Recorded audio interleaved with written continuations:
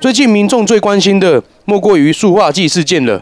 各大卖场、商店、小摊贩也都将含塑化剂饮料下架，民众购买饮料时也都会特别留意，或是暂时不买饮料，避免喝到含塑化剂的饮料。也是很少买，很少买饮料。嗯，注意就是注意什么产地啊，还是什么制造日期啦，怎样？还是吃了什么健有健康啊什么的，怎样？嗯，尽量不要买。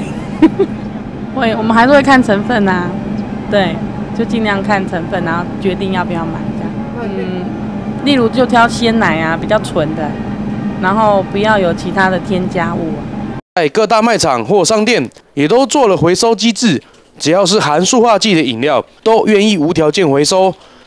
呃，在第一次新闻上新闻之后，总公司就已经通知我们全面下架，只要是有关的产品都全面下架。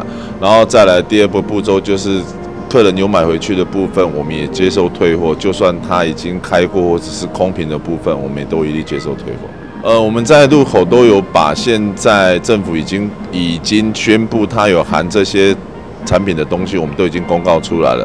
那我们也请厂商把他们的合格证或者是检验证寄到我们这边，我们也在货架上面有有标识。那如果还有其他的疑问的话，可以到我们服务中心去去询问。目前在各大市场已看不见卫生局公告含塑化剂的饮料，而民众退货情形也较稍微缓和。卖场也表示，为了保护民众的健康，只要发现卖场上架的饮料或食品中含有塑化剂的成分，一定会马上下架，请民众安心购物。东台新闻杨国柱、沈婉与台东采访报道。